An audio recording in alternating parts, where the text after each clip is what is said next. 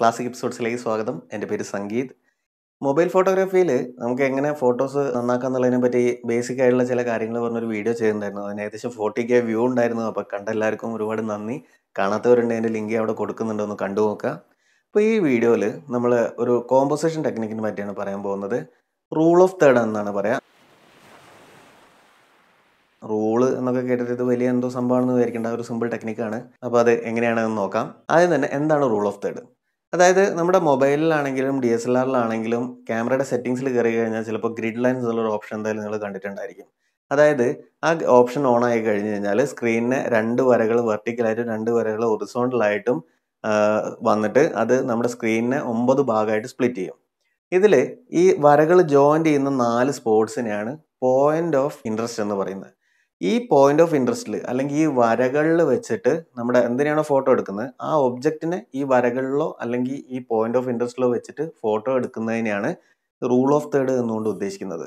അത് എന്തിനാണ് ഇങ്ങനെ ഫോട്ടോ എടുക്കുന്നത് വെച്ചാൽ ഈ ഒരു എക്സാമ്പിൾ നോക്കുകയാണെങ്കിൽ ഇവിടെ നമ്മുടെ പെറ്റ് ഇവിടെ ഒരാളാണെങ്കിലും നമ്മൾ ആ ഒരാളെയോ പെറ്റിനെയോ മാത്രം എടുക്കുന്ന സമയത്ത് ഒരു ബ്ലാങ്ക് ആയിട്ട് ഭയങ്കര സിമ്പിൾ ആയിട്ടുള്ള ഒരു ഫോട്ടോ അതേസമയം ആ താഴ്വരയും കൂടെ അവിടെ വരുന്ന സമയത്ത് നമ്മൾ ആ പെറ്റിലേക്കും കണ്ണുപോകും അതുപോലെ തന്നെ പിന്നീട് ആ താഴ്വരയിലേക്കും നമ്മൾ ആ ഫോട്ടോ ഒന്നും കൂടെ ഒന്ന് എൻഗേജിങ് ആവും അതുപോലെ തന്നെ ഈ ഒരു എക്സാമ്പിളിലാണെങ്കിൽ നമ്മൾ ആ ഒരു കിളിനെ മാത്രം എടുക്കുന്നതിന് പകരം ആ ഫ്രൂട്ട് കൂടെ ആഡ് ചെയ്യുമ്പം നമുക്ക് ആ ഫോട്ടോ ഒന്ന് ബാലൻസ്ഡ് ആവുകയാണ്. അതുപോലെ തന്നെ ഇനി ഈ ഒരു ഫോട്ടോയിലാണെങ്കിൽ നമുക്ക് ആ ഒരു രണ്ടാൾക്കാരെ മാത്രം എടുത്തിട്ട് തന്നെ എയർപോർട്ടിന്റെ ഒരു ആംബിയൻസ് കൊണ്ടുവരാൻ പറ്റും. പക്ഷെ അതേസമയം നമ്മൾ ബാലൻസിങ് ആയിട്ട് എയറോപ്ലെയിനും കൂടെ ആഡ് ചെയ്യുന്ന സമയത്ത് നമുക്ക് കുറേ കൂടെ ഡീറ്റെയിൽസ് ഒക്കെ അവിടെ കിട്ടുകയാണ് ചെയ്യുന്നത്. അപ്പോൾ എങ്ങനെയാണ് ഇത് ചെയ്യേണ്ടതെന്ന് വെച്ചാൽ ആദ്യം തന്നെ നമ്മളൊരു സീനറി കാണുന്ന സമയത്ത് അല്ലെ എന്തിനാണോ നമ്മൾ ഫോട്ടോ എടുക്കുന്നത് ആ മെയിൻ ഒബ്ജക്റ്റിനെ നമ്മൾ ഐഡന്റിഫൈ ചെയ്യണം. അപ്പോൾ ഈ ഒരു എക്സാമ്പിളിലാണെങ്കിൽ ആ ഒരു ബോട്ട് അതിനെ നമുക്ക് മെയിൻ ഒബ്ജക്റ്റ് ആയിട്ട് ഈ ഒരു പോയിന്റ് ഓഫ് ഇൻട്രസ്റ്റിൽ അല്ലെങ്കിൽ ആ ലൈനിൽ വെക്കാം.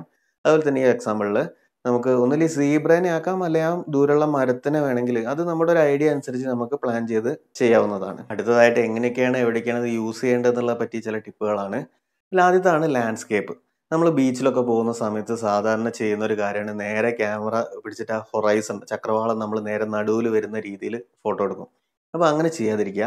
അപ്പോൾ പകരം രണ്ട് രീതിയിൽ ചെയ്യാൻ പറ്റും. അതായത് ഇൻട്രസ്റ്റിംഗ് ആയിട്ടുള്ള ഒബ്ജക്റ്റ് ആകാശമാണ് നല്ല മേഘം ഒക്കെ ഉള്ളൊരു സ്കൈ ആണെന്നുണ്ടെങ്കിൽ നമുക്ക് ടു തേർഡ് ഭാഗം നമുക്ക് ആകാശത്തിന് വേണ്ടി മാറ്റി വെച്ചിട്ട് ഒരു വൺ തേർഡ് ഭാഗം മാത്രം നമുക്ക് കര വരുന്ന രീതിയിൽ എടുക്കാം. അതല്ല നമുക്ക് നല്ലൊരു റിഫ്ലക്ഷൻ നമുക്ക് വെള്ളത്തിൽ കിട്ടുന്നുണ്ട്. അല്ലെങ്കിൽ നല്ല ഇൻട്രസ്റ്റിംഗ് ആയ ലൈറ്റിംഗ് ആണ്. അല്ലെങ്കിൽ ഒരുപാട് ഒബ്ജക്റ്റ് താഴെ ഉണ്ടെന്നുണ്ടെങ്കിൽ നമുക്ക് ടു തേർഡ് ഭാഗം കര വരുന്ന രീതിയിൽ വൺ തേർഡ് മാത്രം ആകാശത്തിന് വിട്ടിട്ട് ഫോട്ടോ എടുക്കാം. അടുത്താണ് പോർട്രേറ്റ് ഫോട്ടോഗ്രാഫിയിൽ പോർട്രേറ്റ് ഫോട്ടോഗ്രാഫിയിൽ വരുന്ന സമയത്ത് നമ്മൾ എപ്പോഴും കണ്ണ് ഏറ്റവും ഹയറിലുള്ള ആ തേർഡിൽ ആ ഒരു ലൈനിൽ വരാൻ ശ്രദ്ധിക്കുക. അപ്പോൾ ഈ എക്സാമ്പിളിൽ കാണിക്കുന്ന പോലെ അടുത്ത ശ്രദ്ധിക്കേണ്ട കാര്യമാണ്.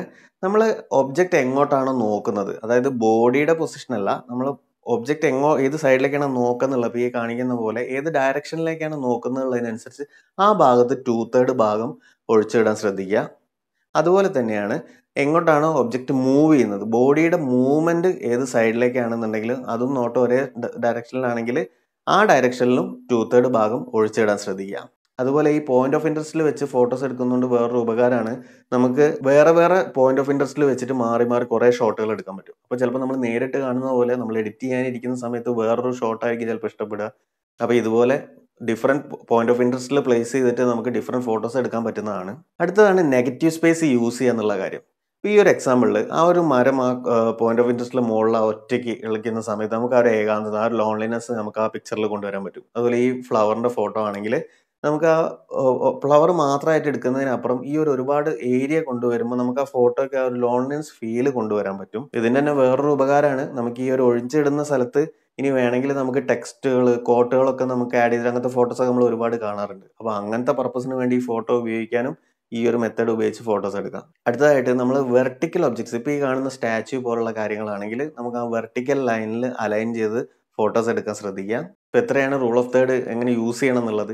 ഇനി എപ്പോഴൊക്കെ നമുക്കിത് മാറ്റി വെക്കാം എന്നുള്ളതിനെ പറ്റി ചില കാര്യങ്ങളാണ് പറയാൻ പോകുന്നത്. അതിൽ ആദ്യത്താണ് ഫിൽ ദ ഫ്രെയിം അല്ലെങ്കിൽ നമുക്ക് അൺവാണ്ടഡ് ആയിട്ടുള്ള ഒബ്ജക്ട്സ് റിമൂവ് ചെയ്തിട്ട് നമ്മൾ ഫോട്ടോ എടുക്കുന്ന രീതി. അതായത് ഈ കാണുന്ന പോലെ ആ കണ്ണ് മാത്രം ക്ലോസപ്പിൽ എടുക്കുക. അല്ലെങ്കിൽ ഒരു ഫ്ലവർ ആണെങ്കിൽ ആ ഫ്ലവർ മാത്രം മതി എന്ന് വിചാരിച്ചിട്ട് നമ്മൾ എടുക്കുന്ന സമയത്ത് നമ്മൾ ഈ കോമ്പോസിഷൻ ഒന്നും ആലോചിക്കേണ്ട കാര്യമില്ല.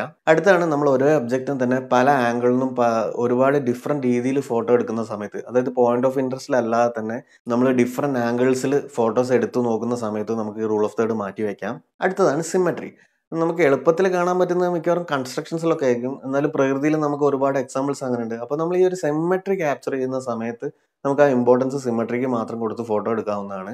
അതുപോലെ തന്നെയാണ് പാറ്റേൺസ് നമ്മൾ ആ പാറ്റേൺസ് ഫോട്ടോ എടുക്കുമ്പോഴും നമ്മൾ വേറെ കോമ്പൻസേഷൻസ് ഒക്കെ ട്രൈ ചെയ്യുന്ന സമയത്ത് ഇമ്പോർട്ടൻസ് സ്പ്ലിറ്റ് ആവുകയാണ് അപ്പോൾ അങ്ങനെ ചെയ്യാതെ നമ്മൾ ആ പാറ്റേൺസ് മാത്രം ഫോക്കസ് ചെയ്ത് ഫോട്ടോ എടുക്കുമ്പോഴും നമുക്ക് റൂൾ ഓഫ് തേഡ് ഒഴിവാക്കാം.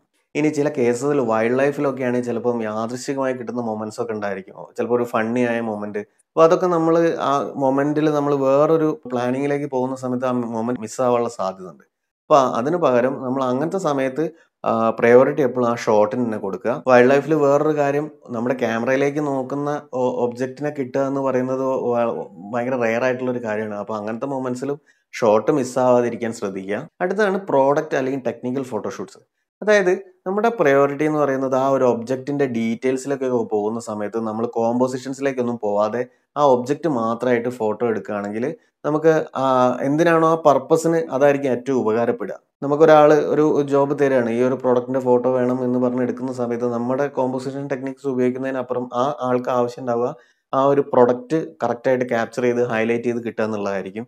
അപ്പോഴും നമുക്ക് ഈ റൂൾ ഓഫ് തേർഡ് ഒഴിവാക്കാം. അടുത്തതാണ് റിഫ്ലക്ഷൻസ് ക്യാപ്ചർ ചെയ്യുന്ന സമയത്ത്. ഈ റിഫ്ലക്ഷൻസ് ഒക്കെ വരുമ്പോൾ നമുക്കറിയാം ഒരേപോലെ ആയിരിക്കും. നേരത്തെ പറഞ്ഞ പോലെ സിമ്മട്രി എന്ന് പറഞ്ഞ പോലെ തന്നെ നമുക്ക് ആ ഒരേപോലെ തന്നെ ക്യാപ്ചർ ചെയ്യണം എന്നുള്ളതുകൊണ്ട് അത് ഏകദേശം നടുവിൽ വെച്ച് തന്നെ ക്യാപ്ചർ ചെയ്യുന്നതാണ് ഞാൻ നല്ലത്. അപ്പോൾ റൂൾ ഓഫ് തേർഡ് ഒഴിവാക്കാം. ഇനി എഡ്ജും കോർണേഴ്സും യൂസ് ചെയ്ത് ഫോട്ടോ എടുക്കുന്ന രീതിയുണ്ട്.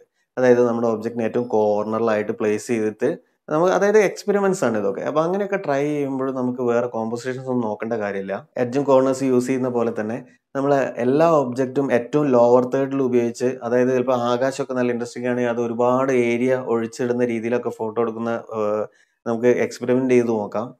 അടുത്തായിട്ട് റൂൾ ഓഫ് തേർഡ് ഒഴിവാക്കേണ്ട ഒരു സിറ്റുവേഷൻ ആണ്. അതായത് നമ്മൾ ഈ പോയിന്റ് ഓഫ് ഇൻട്രസ്റ്റിൽ ഒബ്ജക്റ്റ് വെക്കാൻ വേണ്ടി ട്രൈ ചെയ്യുന്ന സമയത്ത് ഇപ്പോൾ ഒരു പക്ഷിയൊക്കെ ആണെങ്കിൽ അതിന്റെ വാലോ അല്ലെങ്കിൽ ഏതെങ്കിലും ഒരു പാർട്ട് നമുക്ക് ക്രോപ്പ് ചെയ്ത് ഒഴിവാക്കേണ്ടി വരുന്ന ഒരു സിറ്റുവേഷൻ ആണെങ്കിൽ നമ്മൾ റൂൾ ഓഫ് തേർഡ് എടുക്കേണ്ടതില്ല. ഇനി നേരത്തെ പറഞ്ഞിട്ടുണ്ടായിരുന്നു നമുക്ക് എങ്ങോട്ടാണോ നോക്കുന്നത് അല്ലെങ്കിൽ എങ്ങോട്ടാണോ മൂവ്മെന്റ് അങ്ങോട്ട് സ്പേസ് ഒഴിച്ചു വിടണം എന്നുള്ളത്. ഇത് നമുക്ക് ഓപ്പോസിറ്റ് യൂസ് ചെയ്യാം. അതായത് ആ ഒരു മൂവ്മെന്റ് ബ്ലോക്ക് ചെയ്തിട്ട് അല്ലെങ്കിൽ ആ നോക്കുന്ന സ്ഥലം ബ്ലോക്ക് ചെയ്തിട്ട് ഫോട്ടോ എടുക്കുമ്പോൾ നമുക്കൊരു ടെൻഷൻ നമുക്ക് ഫോട്ടോസിൽ ക്രിയേറ്റ് ചെയ്യാൻ പറ്റും. ഇനി ഡിഫറെന്റ് ഒബ്ജക്ട്സ് അതായത് മൾട്ടിപ്പിൾ ഒബ്ജക്ട്സ് നമ്മുടെ ഫോട്ടോ എടുക്കേണ്ടതുണ്ട് എന്നുണ്ടെങ്കിൽ നമുക്ക് റൂൾ ഓഫ് തേർഡ് എടുക്കേണ്ടതില്ല. അതായത് ഇപ്പോൾ ഒരു ഗ്രൂപ്പ് ഫോട്ടോ എടുക്കുകയാണ് അല്ലെങ്കിൽ ഇപ്പോൾ ഈ കാണുന്ന പോലെ ഇപ്പോൾ ഫ്രെയിമിൽ നമുക്ക് ഡിഫ ഒരുപാട് ഒബ്ജക്റ്റുകൾ ഉണ്ട് എന്നുണ്ടെങ്കിൽ നമ്മുടെ പ്രയോറിറ്റി അവരെല്ലാം ഇൻക്ലൂഡ് ചെയ്യുക എന്നുള്ളതായിരിക്കണം. അടുത്താണ് നമ്മളൊരു ഡിഫറെന്റ് പേഴ്സ്പെക്റ്റീവ് ട്രൈ ചെയ്യുന്ന സമയത്ത് ഒരു ഡ്രോൺ ഷോട്ട് അല്ലെങ്കിൽ അതുപോലുള്ള ഒരു ഡിഫറെന്റ് പേഴ്സ്പെക്റ്റീവ് നമ്മുടെ പ്രയോറിറ്റി ആ ഒരു പേഴ്സ്പെക്റ്റീവിനാവുന്ന സമയത്തും നമുക്ക് ഈ റൂൾ ഓഫ് തേർഡ് ഒഴിവാക്കിയിട്ട് നമുക്ക് ഫോട്ടോ എടുത്ത് നോക്കാവുന്നതാണ്. അതുപോലെ തന്നെ ഫാസ്റ്റ് മൂവിങ് ആയിട്ടുള്ള ഒബ്ജക്ട്സ് അതിപ്പോൾ വൈൽഡ് ലൈഫിലാവാം അല്ലെങ്കിൽ സ്പോർട്സ് ഫോട്ടോഗ്രാഫിയിലൊക്കെ വരുന്ന സമയത്ത് നമ്മൾ കോമ്പോസിഷനിലേക്ക് നമ്മൾ ശ്രദ്ധ പോകുന്ന സമയത്ത് ചിലപ്പോൾ ഷോട്ടുകൾ നല്ല മൊമെന്റ്സ് മിസ്സാവാൻ സാധ്യതയുണ്ട്. അപ്പോഴും നമ്മൾ നേരെ ആ ഒരു എന്താണ് ക്യാപ്ചർ ചെയ്യേണ്ടതെന്നുള്ള ഒബ്ജക്റ്റിലേക്ക് ശ്രദ്ധ കൊടുക്കാൻ ശ്രമിക്കുക. അപ്പോൾ ഇത്രയാണ് റൂൾ ഓഫ് തേർഡിനെ പറ്റി പറയാനുള്ളത്. അപ്പോൾ നിങ്ങൾ ഇങ്ങനെ ഒന്ന് ഫോട്ടോസ് എടുത്ത് ട്രൈ ചെയ്ത് നോക്കുക. എന്റെ ഇൻസ്റ്റാഗ്രാമിന്റെ ഐ ഡി താഴെ കൊടുക്കുന്നുണ്ട്. നല്ല ഫോട്ടോസ് നിങ്ങൾ ടാഗ് ചെയ്യുക. ഇത് ഉപകാരപ്പെടുന്നുള്ള ഒരു മൂന്ന് പേർക്കെങ്കിലും വീഡിയോ ഒന്ന് ഷെയർ ചെയ്ത് കൊടുക്കുക. അപ്പോൾ അടുത്തൊരു വീഡിയോ ആയിട്ട് കാണാം. താങ്ക്